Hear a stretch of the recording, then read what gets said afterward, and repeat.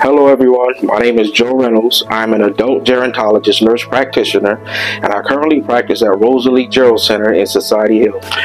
Well, I originally started in CareSouth as an uh, IV therapist. I really enjoyed doing the work, but I felt compelled that I can do it a lot more as far as helping the patients. And so I went back to school and got my master's degree at Walden University. And so that's what started my journey, just really feeling like I can be of more service to the people in the community that really truly needed help. So if anybody's interested in finding a healthcare provider who's willing to listen, take in consideration their concerns as far as medications and things of that nature. We're really going to listen and be attentive to them because that's the key to establishing uh, a positive rapport between a physician and patient is having that open relationship, right? I am not a know-it-all.